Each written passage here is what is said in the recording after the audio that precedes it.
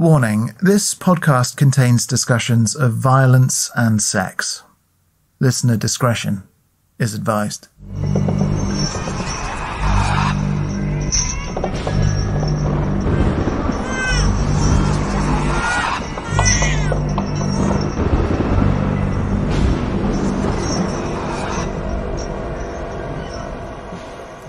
Welcome to the very first episode of Something Wicked, a bonus series from the Three Ravens podcast, all about historical monsters, maniacs, and murderers from across the world of folklore.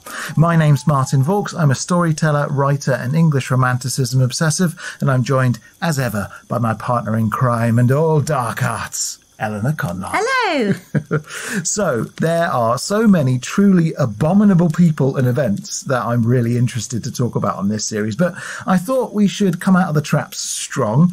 This one is pretty horrendous and reasonably well known. But first question, Eleanor, have you ever heard of Peter Stumpp, the werewolf of Bedburg? I haven't, and I don't know where Bedburg is. Okay, well, let's start with time period. So, Peter Stumpp lived from the early 1530s and was executed, aged roughly 50, in the most extraordinary way on Halloween night, 1589. Well, first, executed on Halloween is a very strong start. but you said in an extraordinary way. What do you mean extraordinary? Wow. Are we talking multi-stage process? Were red hot pokers and boiling tar involved? Not far off. Uh, it was definitely a multi stage process. No, come on then. How did they do it? So he was firstly put onto a Catherine wheel. Now, when we think about Catherine wheels, we normally think of fireworks that spin around, but being broken on the wheel, as it was known, was a fairly common method of execution by torture in the medieval era. It was particularly favoured in Central Europe, where the accused was to firstly be laid down and pinned so their arms and legs were spread out. Then they were beaten with a spoked cartwheel, normally the number of times matching the number of spokes the wheel had, which was typically 12. So 12 crushing slams on each leg, 12 on each arm, which obviously broke them to smithereens. Oh, that's horrible. Yeah. Then the accused was harnessed. This meant braiding them onto the wheel by their broken limbs, with the wheel then mounted upright, a bit like a crucifixion, so the accused would hang by their broken limbs. This is really nasty. It and I. I don't know how they're still alive at this point. I know, right? It's really nasty. And this was, to underline it, a common method of torture for people found guilty of theft as well as murder. And after the harnessing bit, How is there more? oh, there's more. Yeah. Oh, God. So sometimes after the breaking and the harnessing, people were then executed by hanging, being dangled from a noose with their weight and the weight of the wheel. Then sometimes they were thrown into a fire, still strapped to the wheel. But either way, they were normally left on the wheel for a long time, dead or alive, often for many days, meaning birds or animals could come and scavenge from their bodies. Oh wow, that's so rough. Yep. I'm, I'm guessing though, if that was normal, Yeah. like if that was a common thing that happened, poor old Peter Stumpp didn't just get broken and harnessed on the wheel. Correct. So first he was broken on the wheel, then came the red hot pokers you mentioned actually. I was kidding about the red hot pokers. Were there actually red hot pokers involved? Well, they were actually red hot pincers. Oh, so the executioner used the pincers to tear flesh from his body in 10 places, removing most of his skin. Then, There's the then. yeah, then his arms and legs were lopped off with, and this is horrendous, the blunt side of an axe. Oh no. Then he was beheaded, and then his body was tossed into a pyre and burned. So you said body. Yeah. Just out of curiosity, did they burn his head too? Nope. of course not. so that, his head, was mounted on a pole, which also bore a wheel and a carved wolf with Peter Stumpp's head on a spike right at the top. So that was meant to stand as a warning to the townsfolk of Bedburg and the surrounding area about similar behaviour. Okay, wow. I, I still don't know how he survived the whole thing.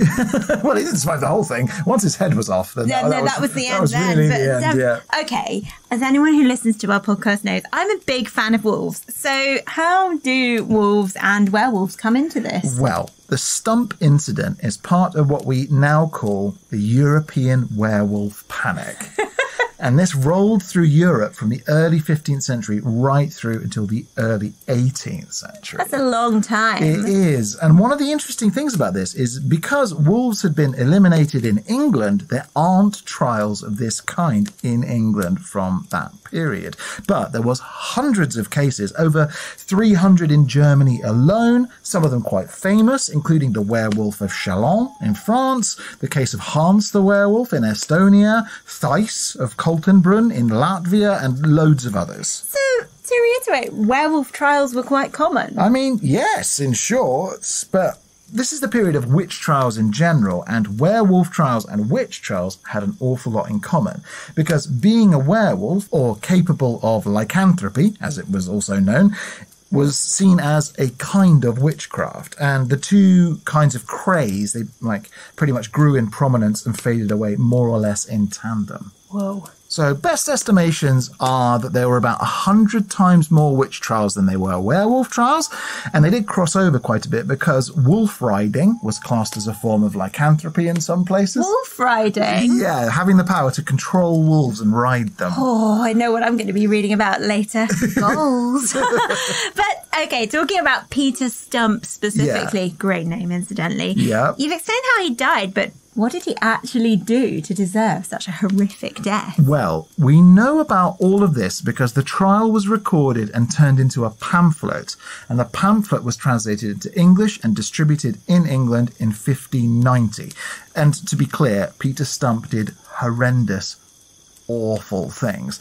The pamphlet describes how this man, Peter Stumpp, who also went by the alias Abel Griswold, had been born in the village of Epprath in Cologne, where he became a wealthy farmer. He was a widower with two children, one of whom, Sybil, his daughter of about 15 or 16 years old, was also part of his crimes, and the other, his son, was one of his victims. Oh, so he killed his son. Oh, he killed lots of people over a period of about 25 years. In addition to killing and draining the blood from dozens of goats and lambs and sheep, he killed men, women, and at least 14 children, one of whom was his son, and maybe, most unsettlingly, he killed two pregnant women and, really horribly, ate their unborn children, which he described as, and I quote, dainty morsels. Oh no, that is horrendous. Yeah, he was an appalling man through and through. Yet, when not in his wolf form, it was said that, and again I'm quoting here, he would go through the streets of Cologne, Bedburg, and Epprath in comely habit and very civilly, as one well known to all the inhabitants thereabout, and oftentimes was he saluted of those whose friends and children he had butchered, though nothing suspected for the same. So no one suspected him. He was just walking around. Everyone thought he was a pillar of the community. Yeah, that's right. Wealthy farmer. Everyone thought he was an upstanding citizen. And one of the many curious things about him is that he described how he didn't want to commit these crimes. I think you've got to want to. Well, since the age of 12, this is his story, the devil gave him this magic belt. And he, by this magic belt, had been forced to transform into an enormous wolf, which was described as strong and mighty, with eyes great and large, which in the night sparkled with fire, a mouth great and wide, with most sharp and cruel teeth, a huge body, and mighty paws. Oh, well, we'd better go through our belt collection, see if there are any that turn us into one of those. But so it was described, so people saw the werewolf. Oh, this is one of the most interesting things about the case because the werewolf, which terrorized the area, was attacked by a local farmer who was awoken when his livestock were, were being attacked. He, he rushed outside in the dead of night and then attacked the creature with his sword, chopping off the werewolf's front left paw. Then Peter Stumpp became the prime suspect because, as you might guess, He was suddenly missing a hand. yeah, that's right. Ah. Now, I wasn't going to make this joke Yep. because I thought it would be um, a bit off colour. Yeah. But is he called Peter Stumpp because he has a stump? Exactly. Oh no! but so so his name wasn't Peter Stumpp, was it? You said um, a, was it Gris, Griswold? Griswold? Yeah, that's right. Abel Griswold. So maybe. Annoyingly, we don't know for sure because all of the local church registers were lost during the Thirty Years' War of the 1600s. Okay. So he was caught because of his injury, Yes. but I want to know more about the magic belt. Okay. captured by this idea. All right. Well, it was either a belt or a girdle. Allegedly, Stumpp was given this belt by the devil when he was 12, and once he put it on, then he transformed into this monster. And this kind of thing is common to a lot of the werewolf trials of the period, in that most of the accused said a devilish figure, maybe the devil, maybe another werewolf, either bit them or, more frequently actually, gave them a magical item of clothing, sometimes a wolf's skin, sometimes a cloak, which enabled them to transform into a werewolf. After which they had this uncontrollable bloodlust and engaged in acts of sort of mutilation, murder, and I guess cannibalism is what you call it. Wow, that is so fascinating. Yeah. I love the idea of wolf clothing. I know, right? Ah, it's inspiring. But it wasn't actually just wolves. There are records of other animals, including werebears. Werebears, no yeah, way. yeah, yeah. And so, was Peter Stumpp's werewolf belt ever recovered? Alas, no. So once he was caught and arrested, he was then threatened with torture on a rack, after which he confessed that he'd hidden the belt in a nearby valley. But although the magistrate sent men to go and find it, allegedly, it was never recovered. Oh, so maybe it's still there. Maybe. we could go and find it. Yeah, I mean, maybe the girdle of Peter Stumpp is out there somewhere still.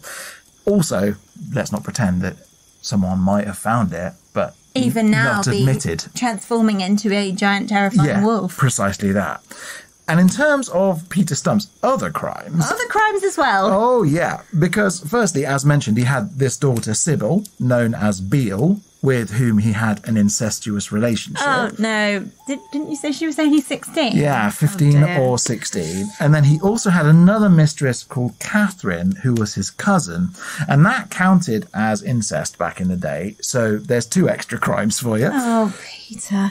and and you said his daughter was actually involved in the crime. Yes, so apparently Sybil and Catherine helped lure victims to places like local woodlands, where Peter Stumpp would then attack and murder them. Though I don't think there's any record of the women engaging in cannibalism or transformations of their own. So they were his accomplices, sort of werewolf associates. Yeah, that's that's right. Apparently, uh, and just to finish, Peter Stumpp also said that the devil had sent a succubus to him, Oh. with whom he'd had an intimate relationship on and off across the years. So when you say succubus, what do you mean? Well, succubi are meant to be these creatures of seduction. As most people know, I'm sure, they are said to have male counterparts, known as incubi or incubus, but succubi specifically are supposed to be descended from four original succubi queens. I mean, this is a whole other thing. That's an interesting thing. Tell me more. Who are these succubi queens of which you speak and where can I meet them? Well, this is according to the 13th century Kabbalah.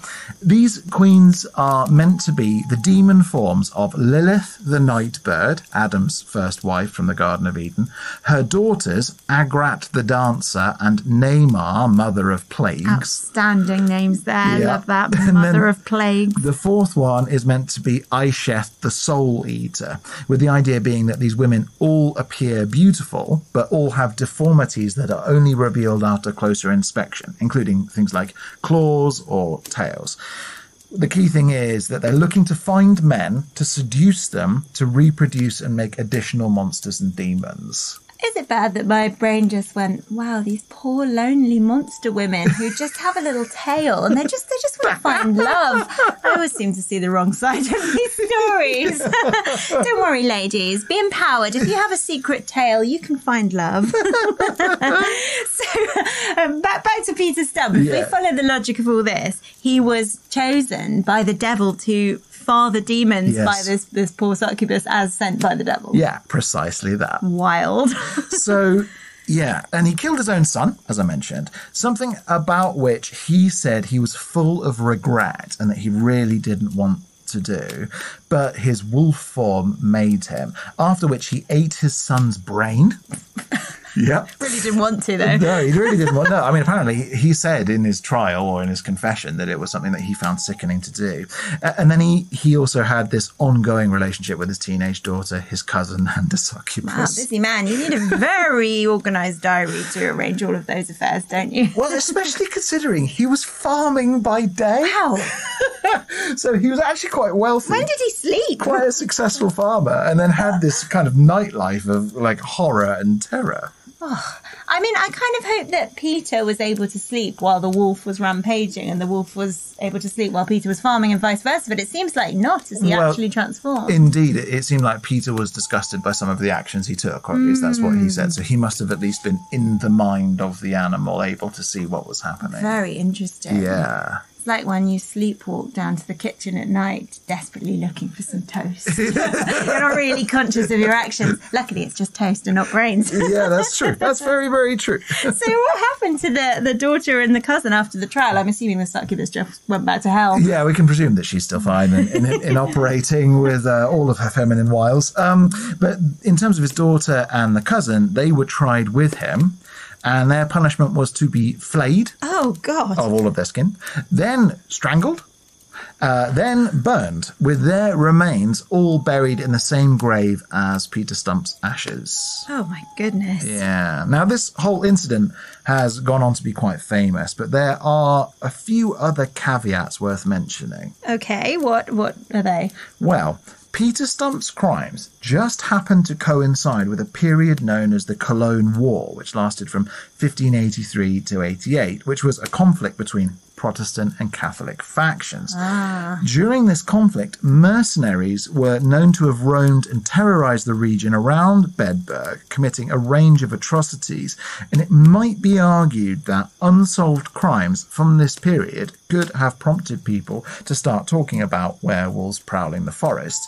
Plus, by 1589, the Catholics had secured control of Bedburg, and Stumpp was a prominent Protestant, so there is a possibility that Stumpp was kind of singled out because he was so prominent in his Protestantism. It seems like there's quite a lot of evidence for his crimes there, Yeah. and you know your hand doesn't just fall off because you're a Protestant. Well, no, that's very true. Most of the evidence, though, came from his own confessions. So I'm not saying he wasn't a monster, because, from the sounds of it, he was a murderer and a cannibal and a sexual predator and all sorts of other horrible, nasty things.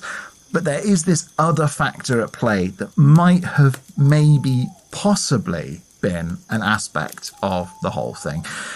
And that's kind of given a bit of credence by the fact that the newly appointed Archbishop of Cologne and the local Catholic aristocracy were all recorded as attending the execution. Oh, it seems like there's something there then, doesn't it? Because if, if you think about witch trials and the things people were accused of, which often weren't terribly substantial. Quite right. That saw them convicted after confessions. Yeah. Well, we like to think witches weren't guilty of their crimes, but in this case, I'm somehow inclined to think he really was guilty. I mean, ultimately, we'll never know.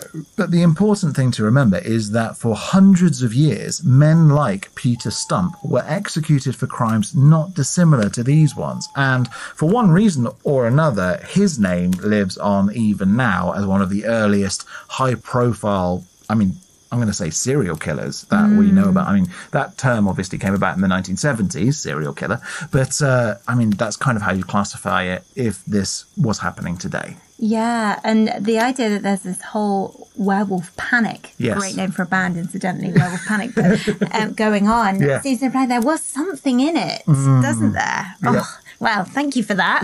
I feel suitably disturbed, actually. Well, in which case, I think my work here is done. and what do you have coming up on the next episode of Something Wicked? Oh, well, we're heading to Central Europe, to what is today modern Slovakia, for a wild story of witchcraft, torture, and the sadistic murder of hundreds of young women at the hands of Elizabeth Bathory, the bloody Countess of Kaszczycka. Oh, a female mass murderer. You don't get those every day, or at least you don't get those that have been caught. In the meanwhile, if you would like bonus content, including all of our episodes ad free, all of our stories from our mainline episodes as text versions, and bonus content, including special episodes and episodes of the Three Ravens Film Club, please consider joining our Patreon for just $3 a month or $6 a month at patreon.com forward slash three Ravens podcast. And please, if you can, write us a review on iTunes or Apple Podcasts. Email us with thoughts, feedback, and unicorn artwork if you have it to three ravens podcast at gmail.com and follow us on social media via facebook.com forward slash three ravens podcast, Instagram at three ravens podcast, and on Twitter via at three ravens pod. Until next time, while our tale of terror has gone that way, we'll go this way. And remember, don't whistle till you're out of the woods. Theme song is the traditional folk ballad Three Ravens, performed by Eleanor Conlon and Ben Harbour, and our artwork is by Ollie James Dare. The Three Ravens podcast is a Rust and Stardust production, written and produced by me, Martin Vaux. Thanks for listening. God sent every gentleman, such hounds, such hawks, and such leman, with a down, derry, derry, derry, down, down.